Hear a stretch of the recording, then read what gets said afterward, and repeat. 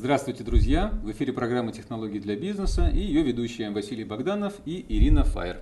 Сегодня у нас в гостях Валерий Лановенко, вице-президент компании Oracle и глава представительства Oracle в России и СНГ. Здравствуйте, Здравствуйте. Валерий. Здравствуйте. Сегодня мы поговорим про технологии для бизнеса, которые сейчас очень модные, популярные, уже, наверное, вот кто только про них не говорит. Ну и мы тоже в их числе, это да. так называемые облачные технологии. Уже это не новость, и это хорошо. Там, да, даже сам я недавно зарегистрировался на сайте «Мое дело», и мне сразу предложили вести бухгалтерию онлайн. Это и есть классическое облако, ну или там наша почта, которой мы уже пользуемся, и все такое. Давайте э, поговорим вот о чем. Значит, какие сегодня решения предлагаются для среднего и крупного бизнеса в облаках? Потому что с малым бизнесом все понятно. Аналог там какой-нибудь Яндексовской mm-hmm, почты, вот это да, мое да, дело, мне очень понравилось. Вот, я прям, ну, вот это, это то, что нужно именно вот в облаках, то, что ожидаешь. Mm-hmm. Но так ли это для среднего бизнеса, когда нужны настройки, когда нужно понимать, в чем бизнес, когда масса пользователей, там, да, да? более и когда продукт все. нестандартный. Вот давайте про это поговорим. Но вначале, как всегда, буквально несколько слов про Oracle. Ну, прежде всего, Oracle присутствует в России уже более 30 лет. Да, это, это очень глобальная компания, да. глобальная компания с э, оборотом более чем э, 37 миллиардов долларов. А, количество человек более 120 тысяч. Это вы говорите про весь мир? Это, это глобальные, да, угу. глобальные показатели наши. А, компания активно растущая, а, набирающая обороты. И компания, которая находится в неком трансформации на сегодняшний день. Угу. Поскольку Oracle в свое время, ну, 35 лет назад, он был основан как компания, которая производит базы данных. Базы данных. Mm. На сегодняшний день э, Oracle – это компания, которая предлагает практически полный спектр IT-решений для компаний любого размера. Э, решение, которое полностью покрывает все э, потребности вот крупного или среднего поговорим. предприятия. Смотрите, а, когда вы говорите любого размера, у меня здесь возникают небольшие сомнения, потому mm-hmm. что по практике компания, ну смотрите, это очень разные виды бизнеса оказывать услуги крупной корпорации там, стоимостью, не знаю, там 10 миллионов долларов, 50 миллионов долларов, mm-hmm. которые занимают много лет внедрения, специальные люди работают там годами, mm-hmm. да? И другое дело, там, оказывать услуги, не знаю, там, компания. коробочный продукт, это вообще все разное, разный подход к продажам, mm-hmm. разный маркетинг. Даже, может быть, такие подразделения нельзя под одной крышей держать, чтобы люди друг другу не мешали. Mm-hmm. Там одни такие такие осанистые, значит, да, топ-менеджеры, продающие на 10 миллионов долларов, и другие юркие ребята, которые проводят конференции, выступают, коробки продают. Ну, вы абсолютно правы. Э, Oracle как корпорация прежде всего фокусируется на клиентах очень крупного размера, да. крупного и среднего размера. Э, малый бизнес, безусловно, для нас важен. У нас есть некоторые решения для малого бизнеса, но это не есть фокус mm-hmm. компании. То есть в основном мы работаем с крупными э, клиентами, ну, крупные и средние да. в разных странах, Теперь безусловно, понятно. имеет э, да. разные, да. разные значения. Да. Да. А, ну, возвращаясь к Oracle, э, на сегодняшний день, э, как я сказал, Oracle предлагает практически все решения, и программное mm-hmm. обеспечение, и аппаратное обеспечение. А, четыре основных стратегических направления развития компании на будущее мы видим. Ну, прежде всего, мы очень активно работаем в индустриях, в, в, в отраслях. Mm-hmm. И отраслевые решения для нас остаются очень важными, просто потому что, когда ты работаешь с крупным бизнесом, очень важно быть близким к этому бизнесу. Угу. Накапливаешь Поэтому, компетенцию. Абсолютно. Да. То есть э, у нас на сегодняшний день существует более 30 э, отраслевых решений э, в самых угу. разных областях, начиная с госсектора, э, заканчивая авиакосмическими э, компаниями, которые работают угу. с космосом и э, авиапромышленностью. Э, но при этом, э, безусловно, и, имея компетенцию в отраслях, мы также имеем э, компетенцию в определенных продуктах. И э, наш набор продуктов строится на принципе «лучший в своем классе». Э, каждый из наших продуктов, будь то ERP-решение, или CRM-решение, или сервера, или база данных, каждый в своей области является лучшим в своем классе. То есть Они... цель быть первым, быть первым, либо в крайнем случае вторым, либо умри, да? А, абсолютно так. Вопрос поставлен, поскольку э, компания растет не только за счет разработки собственных продуктов, но также за счет приобретения других компаний. Которые в своей отрасли. Которые, тоже что-то разрабатывают. Да, да, да, абсолютно. И э, эта стратегия, которая называется рост через поглощение, безусловно, одна из приоритетных для компании. Э, но после приобретения э, продукта, безусловно, мы интегрируем эти продукты в свой э, портфель и добиваемся того, чтобы эти решения оптимальным образом работали с другими нашими Ну и синергировали там. Ну, все вместе. Да, да. То есть ну и, и четвертое э, основное направление для нас это, безусловно, облако, вот с которого вы, собственно, начали да. разговор. Э, облачные решения, и об облачных решениях, я надеюсь, мы поговорим сегодня. Да, да, да, это к, очень к интересная тема, да, да, к этому и подошли. насущная. Вот смотрите, очень хороший переход, потому что действительно, ну, Oracle, конечно, да, все знают как одного, одну из крупнейших компаний, специализирующихся на среднем и тем более крупном бизнесе. И вот здесь-то и возникает вопрос, насколько сегодня возможно, уже действуют, уже есть ли какие-то практики. Вот эти самые решения, а, которые, которые вы накапливали компетенцию, и вот вы правильно сказали, индивидуализировать под да. сегмент, под узкую отрасль. Причем чем более узко, тем на самом деле более эффективно, потому что ты территорию защищаешь, но если там, ну, грубо говоря, есть вот 50 розничных банков, если ты самый лучший в розничной, это вот как это, АБС или как это у них называется, все, вот все. и вся территория, да, да, да. Если ты 20 банков захватил, уже остальные придут нет места. сами. Да. Вот. И вопрос, можно ли это, вот то, что вы называете уникальной компетенцией, переносить в облако и делать э, вот э, по, по, по вызову, как это, так сказать, по в аренду там или как это? Пош... Как? Ну, я начну с того, что облачные технологии это очень, очень общее угу. э, понятие. Э, облако бывает разным. Э, и в основном э, сегодня, когда люди говорят об облаке, они говорят о публичном облаке. Вот как вы сказали, вы зашли, зарегистрировались. Электронная почта, угу. да? Да, внешний угу. некий сервис, который вы покупаете, угу. будучи удаленным от этого сервиса. В крупных предприятиях, в крупных корпорациях под облаком понимают и частное облако. Облако, которое а, создано внутри, внутри компании. компании, самой компании. Как правило, крупные компании это очень сложные образования, которые э, имеют штаб-квартиру, имеют какие-то дочерние предприятия, иногда имеют международные э, дочки. И э, между штаб-квартирой и этими предприятиями существует взаиморасчет. Mm. И частное облако помогает таким компаниям э, навести некий порядок. Э, и То есть, по сути, речь идет о централизации. Централизация, безусловно, но с элементами, данных. Да, с элементами дополнительными для облака очень важна эластичность. То есть, если вы создали некую систему в центре, она должна быть масштабируема незаметно для mm-hmm. пользователей. Да? То есть вы подключили 10 пользователей или 10 тысяч пользователей, mm-hmm. они должны работать с одинаковой скоростью. Это э, не простая задача. Да, это ювелирная работа. Да, то есть вы должны четко э, прогнозировать вот этот вот масштаб а, ну, развития. Ну сейчас подождите, ну разве как раз вот, вот как раз э, публичное облако, ну или там квазипубличное, mm-hmm. когда ну, делать компания типа вашей под заказ несколько компаний отраслевых или зная специфические потребности и позволяет вот, вот эти вот сглаживать эти пики э, потребления. Кому-то нужно 10 тысяч, кому-то 10, mm-hmm. а иначе тогда пропадает смысл если я держу мощности в частном облаке на 10 тысяч, а они мне избыточны, как тогда? Абсолютно. Вы попали в да. самую точку проблемы, и в этом, собственно говоря, заключается компетенция крупных IT-вендоров, в том числе Oracle, когда мы строим частные облака для предприятий. Найти вот этот вот баланс между... То есть гарантированную э, поставку решений для, ну, как бы небольш... ну, скажем так, для, для оптимального да. размера, ресурс, да. и в случае необходимости подкачать или как-то гибко, увеличивать, гибко увеличить э, масштаб. Да, и при этом не обязательно все держать внутри. Здесь мы подходим ко второму типу облака, так называемое гибридное облако, mm-hmm. когда О, э, есть э, облако внутри предприятия, и нужно добавить дополнительный ресурс, и вы добавляете э, часть ресурсов mm-hmm. из внешних, внеш, внешних э, mm, которые, интересно. допустим, оперирует сам Oracle.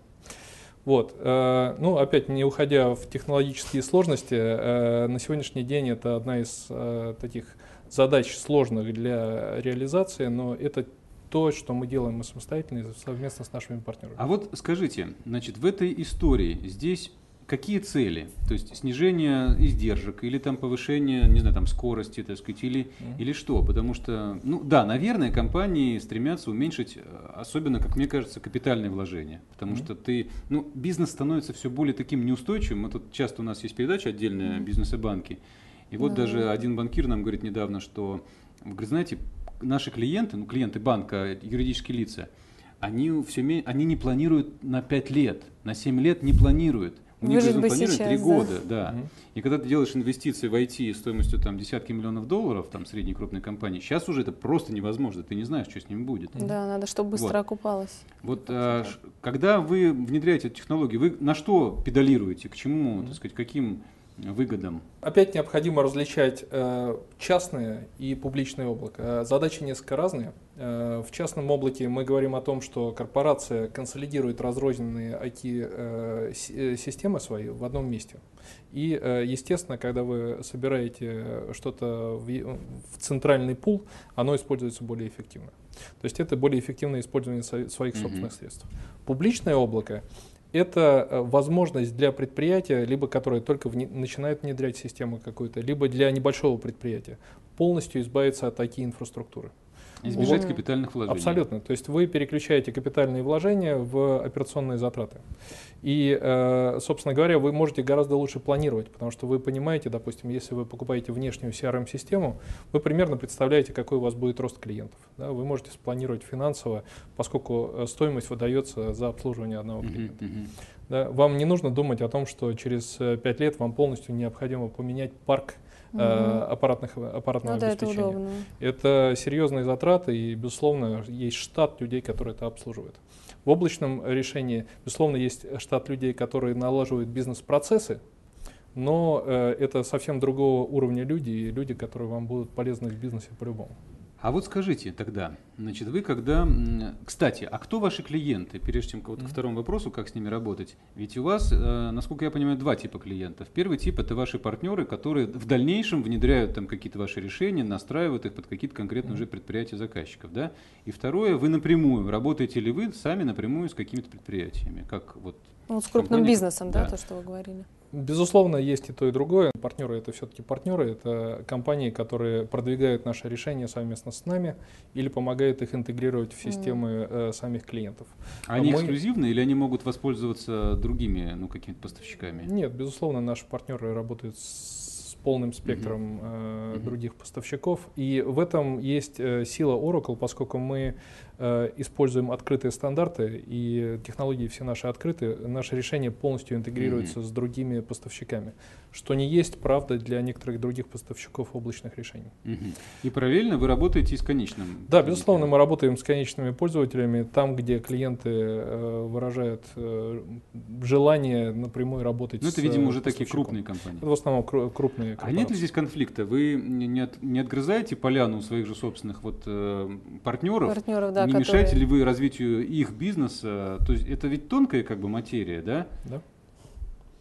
Вот это, это есть некое искусство управления вот этим вот балансом. Мы, безусловно, никогда не конкурируем по цене с нашими партнерами. То есть mm-hmm. с точки зрения партнерской политики мы не входим в конкуренцию ценовую, но иногда клиенты э, просто потому, что у них, допустим, огромное количество офисов по всему миру предпочитают mm-hmm. международного э, интегратора. Ну, это, да, mm-hmm. да, это вот, понятно. И в этом случае мы это выступаем понятно. самостоятельно. Смотрите. Мы очень часто помогаем нашим партнерам, э, идя у них на субконтракте, то ага. есть э, используя свои компетенции интеграции. Хорошо. Смотрите, общую часть мы обсудили. Давайте мы сейчас ненадолго mm-hmm. остановимся и после перерыва поговорим уже о каких-то решениях, кейсах, если они существуют. То есть как в реальности Более это работает, что да. уже покупают, ну, чем пользуются значит, компании из облачных технологий. Да? Mm-hmm. Дорогие друзья, рекламная пауза.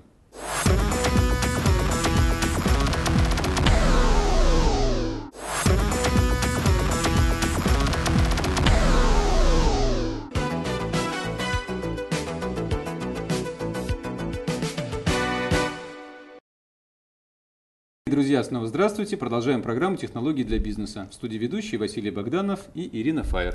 А в гостях у нас Валерий Лановенко, вице-президент компании Oracle и глава представительства Oracle в России и СНГ. Еще раз здравствуйте, Валерий. Здравствуйте. Продолжаем. В первой разговор. части поговорили об общей ситуации, вот чем занимается Oracle, да, какая сейчас ситуация с эм, частными, публичными, гибридными облаками. А есть ли уже сейчас у нас в России там, или в мире примеры, когда действительно средние крупные компании какую-то часть своей инфраструктуры переносят в, в облако, облако, и, это, это успешно? успешно да. Вот мы прям как хор. Да, да, да, это успешно. Да, и это успешно, там, не знаю, CRM, там, ERP, э, там что, что угодно. Ну, э, компании, которые имеют полную инфраструктуру в облаке, э, на сегодняшний день это скорее некие стартапы, Э, которые начинают строить свою инфраструктуру с нуля. Кстати, я вспомнил, есть один банк, он у нас был давно, правда, вот они хвастались тем, что они полностью э, отдали на аутсорсинг э, весь, ну вот всю, всю банковскую IT. Угу. Есть такая компания CFT, вот они туда все это отдали, И, ну вот, да, это, ну, правда, это редкий случай, но бывает. Молодой Ну, банк, да. Да, но здесь не путать облако с аутсорсингом. Это, в общем-то, разные а, вещи. точно, слушайте, Другое, э, да. да. Это немножко разное, но все равно, да. Ну, я бы сказал, что это может быть первым шагом, Мгм. потому что когда компания начинает э, выделять IT-инфраструктуру и полностью избавляться от штата IT-сотрудников, она начинает задумываться о том, каким, что для нее ключевое в ее бизнесе. Да, Вот. Но для банка, честно говоря, конечно, банковская система это, смелое решение это смелое решение, но тем не менее, я думаю, Ну, э, пусть. да. А, э, Ну, говоря об облачных технологиях, э, в основном э, крупные клиенты начинают потихоньку компонентами переводить свою IT-инфраструктуру на облачные технологии. Ну, Ну, видимо, наив- самые такие простые какие-то, видимо, вещи и не критичные для бизнеса, да, начинают пробовать с них. Да, те, вещи, которые требуют меньше всего так называемой кастомизации, то есть изменения и настройки системы. Что те, это которые, может быть, например? Ну, э, наиболее популярными являются HR-системы. М. э, Например, системы- расчеты заработной платы, да, что там. Да, но э, система расчета заработной платы сильно привязана к конкретной стране. А. Поэтому для международных клиентов э, это э, общее управление кадрами и развитие талантов. Вот Мгм. есть такое направление знаю, слышал, да. э, работы HR-систем.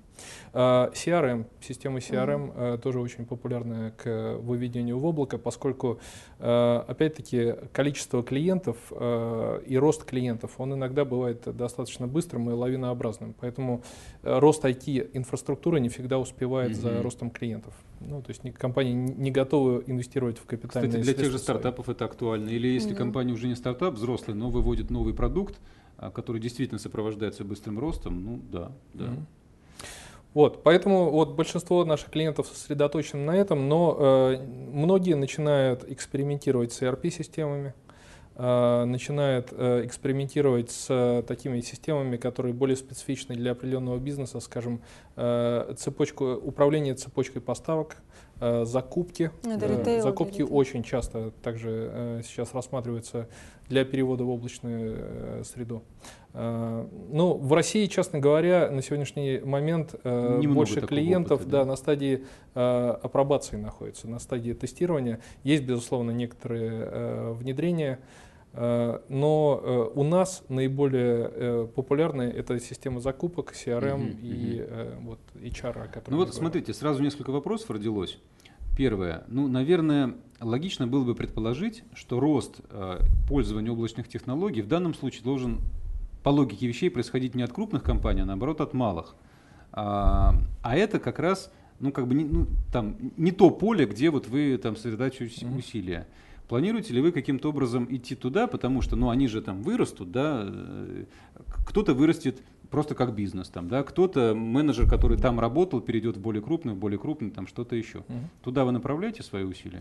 А, Мы, безусловно, не отсекаем этот сегмент э, рынка э, в данном случае, поскольку в облачной технологии не так важно, круп- крупный клиент это Мгм. или мелкий клиент. В общем-то, То есть, по большому Облако счету, если облако, да, пользование там одним рабочим местом CRM-системы, там, не знаю, в торговле стоит там, ну, там, не знаю, 5000 рублей, какая разница? Просто Будет у тебя 10 3 места, а у тебя 100. 300 Да. мест. Ну, Абсолютно. да. абсолютно. Вот, э, поэтому здесь э, как раз вот э, в новой вот этой парадигме облачного, э, облачных технологий э, сотрется некий вот этот вот, э, вот эта граница Мгм. между крупными, средними и малыми компаниями. Мгм. А тогда вот что. А кто ваш клиент, ну, в персональном смысле? Генеральный директор, владелец бизнеса, IT-директор, финансовый То директор. есть с кем вы разговариваете, А, да? Да, вот про что, что слышит клиент? Он слышит, ну, финансовый директор, наверное, слышит, что, ага, можно, ну, сэкономить Мгм. на капиталовложениях, так сказать, там, еще на что-то, да. Бизнес должен услышать, что вот там взрывообразный рост или, наоборот, падение, и я не держу избыточных мощностей, или там приобретаю, Мгм. значит, дополнительные. Вот IT, а IT-директор говорит, так, у меня заберут поле деятельности. Заберут людей. Заберут людей, значит, э, у меня больше не будет бюджета на закупку серверов. Зачем мне нужно вообще вся Решать эта себя история? Да. всего. К сожалению, вы правы. э, И такой э, разговор порой э, происходит у нас, поскольку мы, в силу того, что у нас очень широкий портфель, мы общаемся практически со всеми топ-менеджерами Мгм. в компании. Мы общаемся и с CEO, поскольку мы говорим там о решениях класса ERP, мы разговариваем с маркетингом, о CRM, мы говорим с финансами о, опять-таки, ERP и финансовых модулях. Uh-huh. Ну и, безусловно, с IT-менеджером, поскольку мы владеем ну, также да. инфраструктурой.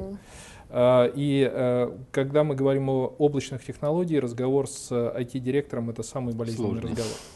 Но учитывая, что переход на облачные технологии, как правило, не означает перевод всей инфраструктуры немедленно в облако, а означает некое упрощение, э, ну, поступательное упрощение IT-инфраструктуры, как правило, э, ну, мы имеем достаточно резонный разговор, да, но он непростой.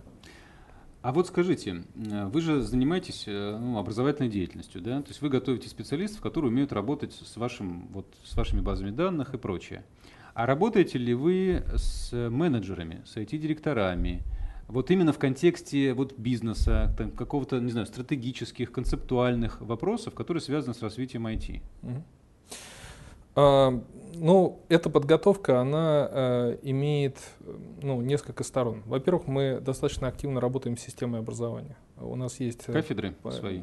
У нас есть программа, которая называется Oracle Academy. Э, многие университеты подписываются под этой программой, и там есть два направления работы с университетом. Первое чисто технологическое – где мы говорим о языке Java и о базах данных. Ну там вы готовите, собственно, программистов. Программистов, технологов. Mm-hmm. С другой стороны, у нас есть э, направление этой программы, которое работает с э, финансовыми э, кафедрами, mm-hmm. да, то есть э, где мы объясняем, как работает ERP-система, да, система бюджетирования, планирования и так далее. А где эта академия находится? Она как-то это... в онлайне обучается или как? Нет, академия это программа, и мы mm-hmm. индивидуально подписываемся с нашими российскими университетами. У нас на сегодняшний день порядка 30 университетов mm-hmm. участвуют Здорово. в программе.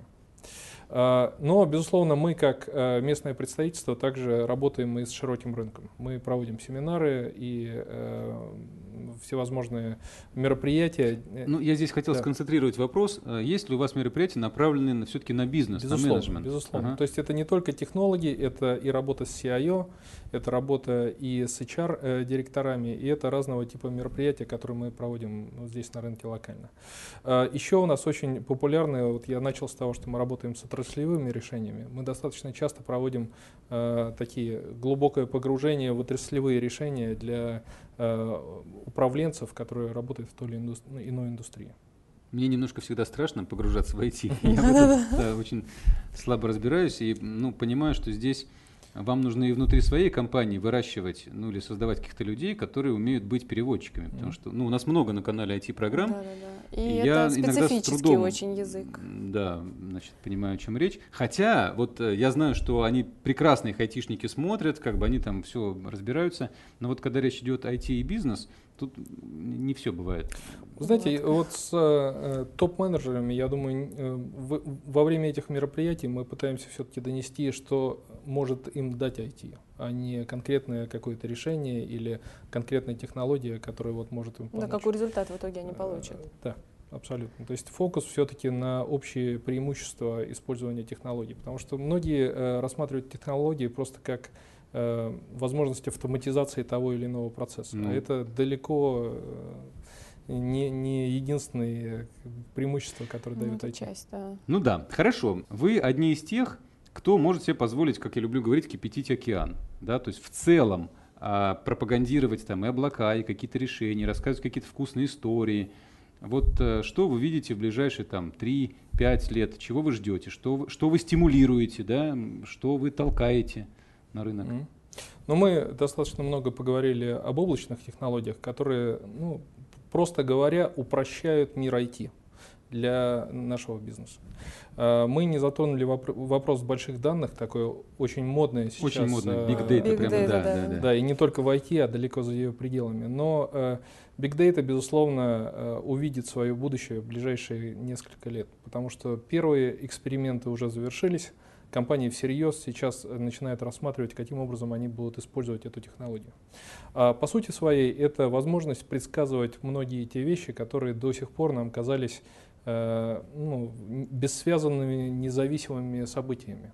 Это технологии, которые помогают нам искать причинно-следственные связи между вещами, которые нам казались, как бы существуют абсолютно независимо. Но, насколько я понимаю, здесь ведь главная проблема не в мощностях хранилищ этих данных, а в том, чтобы написать алгоритмы, в том, чтобы правильно понять, как интерпретировать. Там прошел дождь, здесь выпал снег, тут автомобили, не знаю, выпустили, тут смог, так сказать. А как это все? Тут э, люди идут на работу, тут в магазинах завезли товары, а тут вспышка, не знаю, гриппа. Как это все связать и из этого сделать картину? Mm. Это же отдельные э, люди должны придумать. На сегодняшний день только появляются технологии, которые способны хранить такое количество данных, которые позволят нам делать вот эти вот небольшие выводы, угу.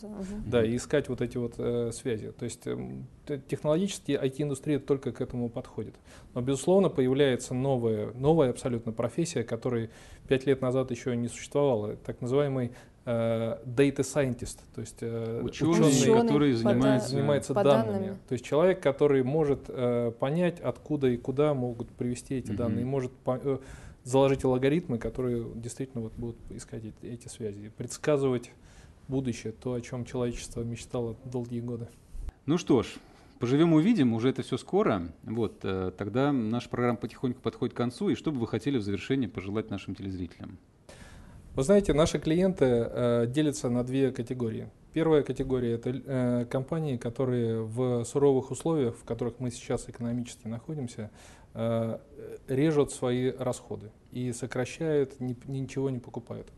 Вторая категория наших клиентов это те клиенты, которые, э, видя в какой ситуации они находятся, они начинают инвестировать. Инвестировать в инновации. Вот я хочу пожелать э, нашим э, слушателям, э, чтобы они относились ко второй категории клиентов, ну, да. чтобы они рассматривали IT-технологии как что-то, Способ, что, да, улучшить. В общем-то, для того, чтобы сэкономить, нужно инвестировать. Да. Поэтому Спасибо. смотрите в будущее с оптимизмом. Спасибо. Дорогие друзья, и на этом наша программа подошла к концу. Вы смотрели «Технологии для бизнеса». В гостях у нас был Валерий Лановенко, а вели программу Василий Богданов и Ирина Фаер. До свидания. До свидания. До свидания.